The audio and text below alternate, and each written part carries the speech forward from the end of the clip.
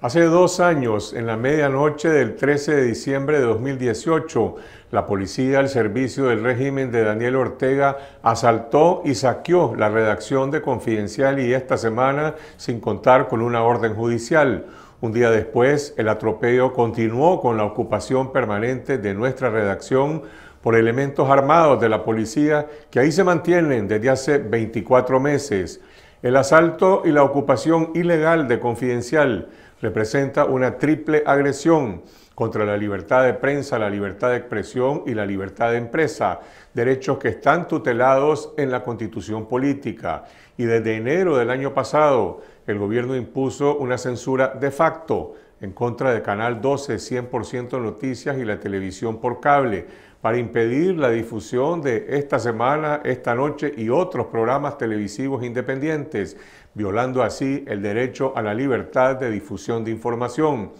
Esta sucesión de actos de fuerza no solamente lesionan nuestros derechos individuales como periodistas, sino que afectan a todos los ciudadanos al negarles el derecho constitucional a recibir información sin ninguna clase de cortapisa ni restricción.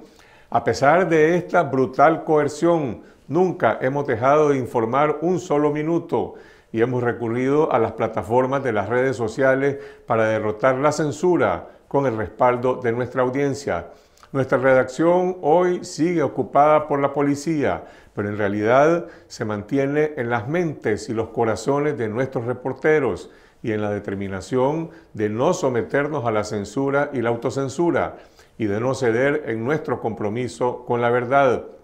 Hemos agotado todos los recursos legales ante la Corte Suprema de Justicia a través de tres recursos de amparo que fueron admitidos desde inicio de 2019 para que ordene la suspensión de la ocupación. Pero la Corte ha violado sus propios plazos de ley sin emitir un fallo para impartir justicia. Como jefe supremo de la policía, Daniel Ortega nunca se ha atrevido a brindar una explicación sobre por qué ordenó cerrar un medio de comunicación por la fuerza. El que sí intentó justificar el crimen es el jefe de la policía Francisco Díaz emitiendo una especie de mea culpa oficial en un informe enviado a la Corte Suprema de Justicia en febrero de 2019, el primer comisionado Díaz prácticamente admite que no tenía ninguna facultad legal para confiscar las empresas de medios de comunicación Invermedia Confidencial y Promedia esta semana.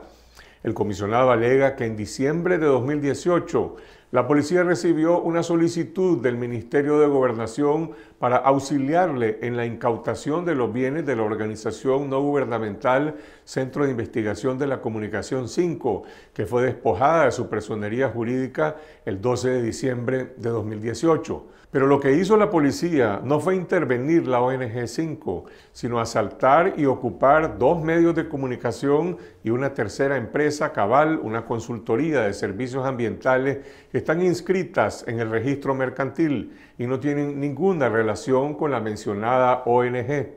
Bastaría esta confesión de parte para que la Corte Suprema de Justicia ordenara a la policía la suspensión de la ocupación y la devolución de los bienes incautados y para que el Estado restituya las libertades y asuma su responsabilidad en la reparación de los daños causados. Pero bajo la dictadura Ortega Murillo no hay justicia y los magistrados se limitan a ejecutar las órdenes políticas que emanan del poder autoritario. Por ello, al agotarse todos los medios para obtener justicia en Nicaragua, hemos recurrido a través de la Fundación Raza e Igualdad ante la Corte Interamericana de Derechos Humanos de la OEA en una petición por la violación a los derechos consignados en la Convención Americana en perjuicio de 39 periodistas y trabajadores de Confidencial y esta semana La Costeñísima, 100% Noticias y Radio Darío. Y si se confirma la negativa de la Corte Suprema, la demanda contra el Estado de Nicaragua será finalmente llevada ante la Corte Interamericana de Justicia. Y tengo la convicción de que más temprano que tarde la justicia prevalecerá para todas las víctimas de la represión, incluidos los periodistas independientes. A dos años del asalto de Confidencial, seguimos demandando la suspensión del Estado policial, la liberación de todos los presos políticos y el cese de la censura y la persecución contra el periodismo independiente. A pesar de la ocupación física de nuestra redacción, nunca pudieron callarnos, ni podrán impedir con la nueva ley Mordaza que sigamos fiscalizando el poder e investigando y denunciando la corrupción. Hace un año regresamos del exilio para seguir contando la gran historia de nuestro tiempo, que es cómo se cambia una dictadura sangrienta por medios políticos pacíficos, una historia de dolor y esperanza que protagoniza la nueva mayoría azul y blanco en Nicaragua. Y aquí estamos haciendo periodismo para poner un grano de arena en esta cruzada nacional por la verdad, la democracia y la justicia social, para que Nicaragua vuelva a ser república.